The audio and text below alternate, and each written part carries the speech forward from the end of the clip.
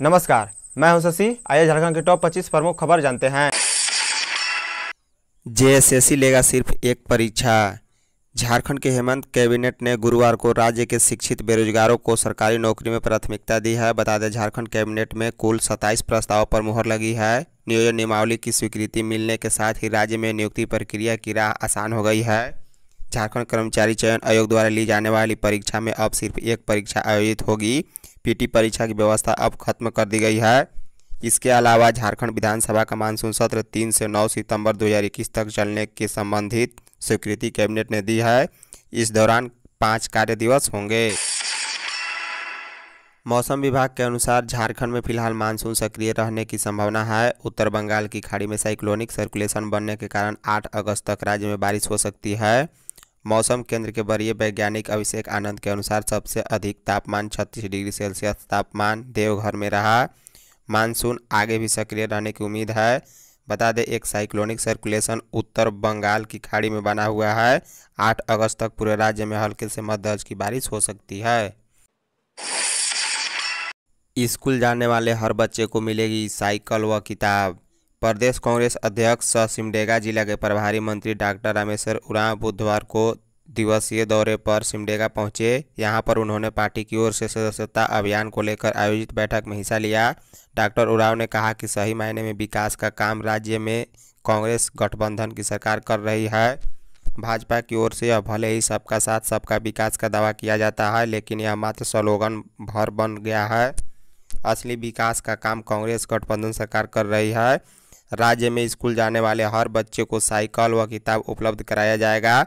उन्होंने कहा कि भाजपा शासनकाल में 900 करोड़ रुपए सिर्फ़ मेला लगाने में खर्च किया जाता था।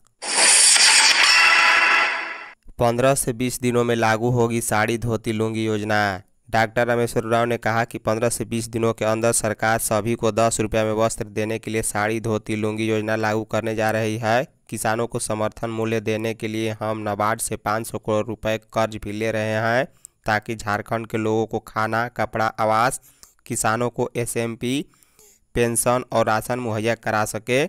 डॉक्टर रामेश्वर उराव ने कहा कि गांधी जी के समय से ही चंदा लेकर कांग्रेस का सदस्य बनाए जाने की परंपरा रही है। भारतीय पुरुष हॉकी टीम के जीत पर सिमडेगा में जश्न। टोक्यो में चल रहे ओलंपिक गेम्स 2020 के पुरुष हॉकी प्रतियोगिता में भारतीय पुरुष टीम ने तीसरे एवं चौथे स्थान के लिए खेले गए मैच में जर्मनी को पाँच चार से पराजित कर दशकों बाद ब्रॉन्ज मेडल प्राप्त कर इतिहास बना डाला। बता दें, वर्ष 1980 के बाद भारतीय हॉकी टीम का ओलंपिक में यह पहला पदक है। मैच के खत्म होते ही हॉकी की नर्सरी सिमडेगा में हॉकी सिमडेगा के कार्यालय में उनके पदाधिकारी एवं खिलाड़ी ढोल नगाड़े के साथ पहुँचे और नाचते, गाते व थिरकते एक दूसरे को जीत की बधाई देने लगे। रांची के दो महत्वपूर्ण सड़कें होंगी फोर लेन। रांची के लोगों के लिए अच्छी खबर है, बता दें, राजधानी रांची को जाम से मुक्ति दिलाने के प्रयास पथ निर्माण विभाग ने शुरू कर दिए हैं। इस कड़ी में रांची शहर के सीरम टोली चौक से राजेंद्र चौक होते हुए मेकौन तक फ्लाई ओवर का निर्माण किया जाएगा। वहीं नेवरी कोकर चौक नामकुम रोड को फोर लेन बनाया जाएगा। गुरुवार को प्रोजेक्ट भवन सचिवालय मुख्यमंत्री हेमंत सोरेन को प्रस्तावित फ्लाईओवर और फोर लेन के बाबत प्रेजेंटेशन दिखाया गया। बता दें पथ निर्माण विभाग के सचिव सुनील कुमार ने पीपीटी के माध्यम से प्रस्तावित योजना की जानकारी मुख्यमंत्री को दी। झारखंड के सभी किसानों को केसीसी का लाभ। कृषि को झारखंड सरकार ने प्राथमिकता वाले क्षेत्र में रखा है। यही कारण है कि खेतीबाड़ी में सहूलियत को लेकर सरकार लगातार प्रयासरत है। बता दें, किसानों को खेती के दौरान पूंजी की कमी से परेशानी से बचाने के लिए मुख्यमंत्री हेमंत सोरेन ने तमाम किसानों को किसान क्रेडिट कार्ड से जोड़ने का विशेष निर्देश दे रखा है। पूरे राज्य में तीस लाख किसानों का पीएम किसान योजना के तहत निबंधन हुआ था। उन सभी को केसीसी से लाभान्वित करने का निर्देश दिया गया है। पुरुष हॉकी टीम की जीत पर राज्यपाल ने दी बधाई। झारखंड के राज्यपाल रमेश बैस ने जापान के टोक्यो में चल रहे ओलंपिक में पदक जीतने के लिए भारतीय पुरुष हॉकी टीम के सभी खिलाड़ियों को बधाई व शुभकामनाएँ दी है। राज्यपाल ने टोक्यो ओलंपिक में देश के नाम कांस्य पदक अर्जित करने हेतु अनेकानेक बधाई व शुभकामनाएँ देते हुए ट्वीट किया। उन्होंने ट्वीट कर कहा कि भारतीय हॉकी टीम ने एक लंबे अंतराल के बाद ओलंपिक में देश के लिए पदक हासिल कर सर्वत्र उत्साह का माहौल बनाया है। सभी लोग उनके इस उपलब्धि से हर्षित हैं। सरकार गिराने के मामले में दो दिन की रिमांड। रांची पुलिस झारखंड की हेमंत सरकार गिराने की साजिश के आरोप में गिरफ़्तार किए गए तीनों अभियुक्तों को रिमांड पर लेकर पूछताछ करेगी। बता दें, एसीबी की विशेष न्यायालय ने रांची पुलिस के आवेदन को स्वीकार करते हुए तीनों अभियुक्तों को दो दिन के रिमांड पर लेने की मंजूरी दे दी है। अदालत के आदेश के बाद रांची पुलिस अभियुक्तों को रिमांड पर लेकर उनसे पूछताछ कर सकती है। बता दें, सरकार गिराने की साजिश रचने के आरोप में गिरफ़्तार तीनों अभियुक्तों को रिमांड पर लेने के लिए रांची पुलिस के द्वारा अदालत में आवेदन दिया गया था। झारखंड में 28 नए केस मिले हैं, जो रांची से पाँच, पूर्वी सिंहभूम से एक, धनबाद से दो, रामगढ़ से एक, पश्चिमी सिंहभूम से एक, कोडरमा से दो, देवघर से चार, लातेहार से दो, सरायकेला से एक, सिमडेगा से एक, गढ़वा से दो लोहरदगा से तीन, चातरा से एक, साहेबगंज से दो मिले हैं। झारखंड में 28 मरीज़ स्वस्थ भी हुए हैं। झारखंड में कुल एक्टिव केस की संख्या 223 है। भारत में पैंतालीस हज़ार एक नए केस मिले हैं। भारत में कुल एक्टिव केस की संख्या चार लाख आठ हज़ार पाँच सौ तेरह है। झारखंड में एक्टिव केस, रांची पचपन, देवघर ग्यारह, लोहरदगा आठ, धनबाद सोलह, गढ़वा पाँच, कोडरमा तेईस, लातेहार पाँच साहेबगंज सत्रह, चतरा पाँच, पूर्वी सिंहभूम तेरह, रामगढ़ बारह, सरायकला खरसावा पाँच, सिमडेगा चार, पश्चिमी सिंहभूम चार, बोकारो बारह, दुमका तीन गिरडी तीन, गोड्डा तीन, गुमला पाँच, हजारीबाग दो जामतरा तीन, खूंटी तीन पाकुड़ चार, पलामू में दो मरीज़ एक्टिव हैं। रांची में ड्रोन से जलाशयों की होगी निगरानी रांची में लगातार अवैध निर्माण को तोड़ने का सिलसिला जारी है। इस बीच अब रांची नगर निगम ड्रोन से जलाशयों का मुआयना करेगा ताकि उसके आसपास बने अवैध निर्माण का डाटा तैयार हो सके। नगर आयुक्त मुकेश कुमार ने बताया कि झारखंड हाईकोर्ट के निर्देश के बाद बिना नक्शे वाले अवैध निर्माण भवनों को तोड़ा जा रहा है। लगातार उन्हें चिन्हित भी किया जा रहा है।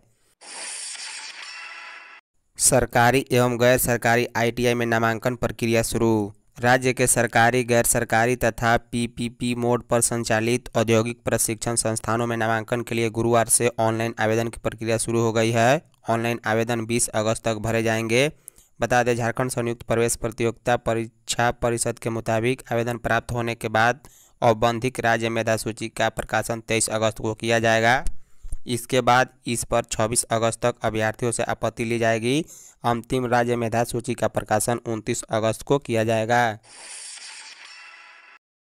सेवा सदन समेत 200 भवनों के मालिकों को राहत। सेवा सदन समेत अपर बाज़ार के करीब 200 भवनों को हाई कोर्ट से राहत मिली है। झारखंड हाई कोर्ट ने गुरुवार को रांची नगर निगम के उस आदेश पर रोक लगा दी है, जिसमें भवनों को तोड़ने का निर्देश दिया गया है।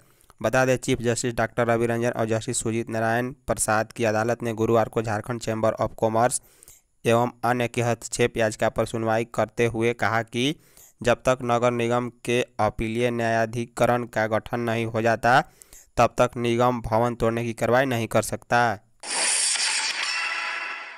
दिसंबर में रांची आएगी science and technology express train. दिसंबर माह में रांची में प्रदर्शनी ट्रेन के रूप में science and technology express special train आएगी। बता दें, यह ट्रेन विज्ञान, प्रौद्योगिकी विभाग, केंद्र सरकार और रेल मंत्रालय के संयुक्त सहयोग से चलाया जा रहा है।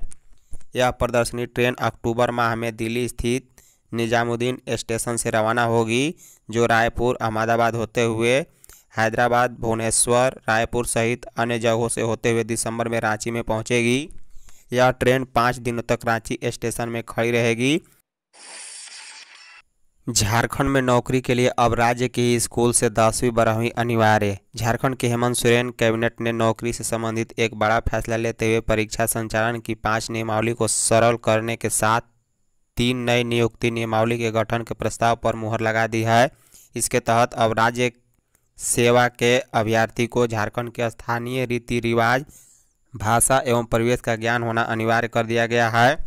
वहीं मैट्रिक स्तरीय परीक्षा संचालन नियमावली में अभ्यर्थी की न्यूनतम शैक्षणिक अर्हता में संशोधन किया गया है। अब अभ्यर्थियों के लिए झारखंड में स्थित मान्यता प्राप्त शैक्षणिक संस्थानों से न्यूनतम मैट्रिक या दसवीं कक्षा उत्तीर्ण होना अनिवार्य है। तीन से नौ सितंबर तक चलेगा झारखंड विधानसभा का मानसून सत्र। झारखंड में तीन सितंबर से शुरू होकर नौ सितंबर तक मानसून सत्र का आयोजन किया जाएगा। इस दौरान पाँच कार्य दिवस होंगे। झारखंड कैबिनेट की हुई बैठक में इस संबंध में निर्णय लिया गया। पहले दिन तीन सितंबर को शपथ ग्रहण के अलावा विधानसभा सत्र में नहीं रहने की अवधि में राज्यपाल के द्वारा